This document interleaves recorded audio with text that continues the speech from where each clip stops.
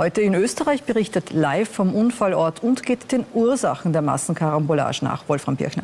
Ja, waren es nur die widrigen Witterungsbedingungen oder doch leichtsinniges Verhalten der Autofahrer? Oder sind gar die Sicherheitsmaßnahmen in diesem neuralgischen Autobahnabschnitt nicht ausreichend? Diese Fragen stellen wir unter anderem einen Verkehrsexperten und zugleich auch Mitplaner, der diesen Bereich sicherheitstechnisch betreut hat. Heute in Österreich hat auch einige Betroffene im Krankenhaus besucht. Die Massenkarambolage auf der Westautobahn heute in Österreich. Wir starten in wenigen Minuten.